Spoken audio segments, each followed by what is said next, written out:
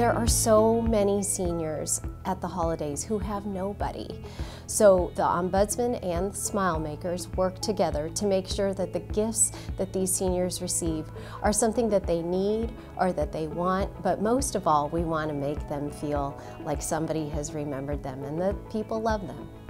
Angel tags for the SmileMakers are like little Christmas lists, so it has the name of the individual and a few items that they might like to have for Christmas, and we try to match what's on their list as best we can, wrap it up, and then give it to them for the holidays. It's a great project. There's no ifs, ands, or buts about it. It's our holiday tradition now. Yeah, exactly.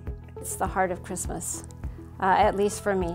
I hope we've made a lot of people happy I feel love for the seniors.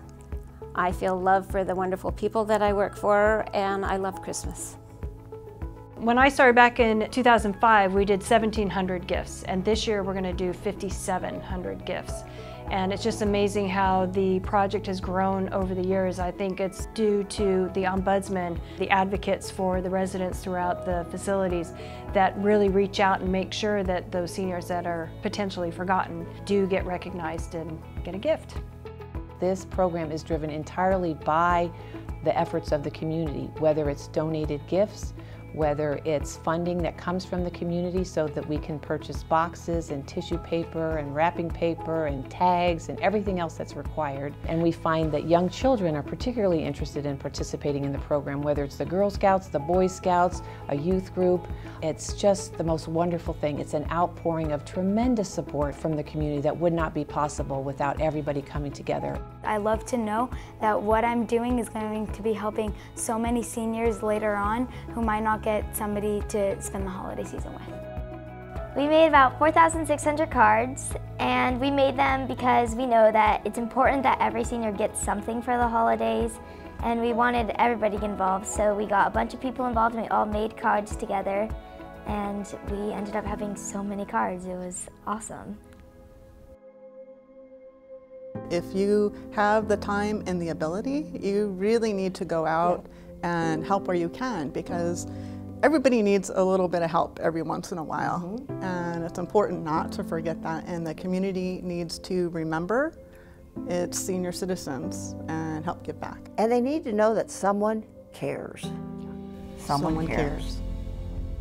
The measure of a community is how we treat our older adults. And this is one program that year after year, again and again, we show that we can treat our older adults with respect and dignity and let them know that they're remembered and let them feel that they're important because they are. The Ombudsman and the SmileMakers programs are very much entwined. The Holiday Project is such a special part of both programs and really the impact on the residents is just something that everybody should see.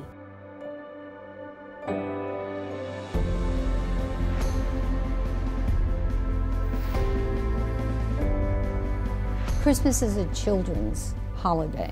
Everybody focuses on children, and I think that's wonderful. Children should have that recognition.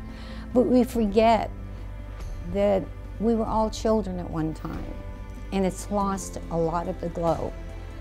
When you're in a nursing home and you really have nothing to look forward to, that Christmas party, when they bring Santa Claus in and distribute those presents, is it's a joy.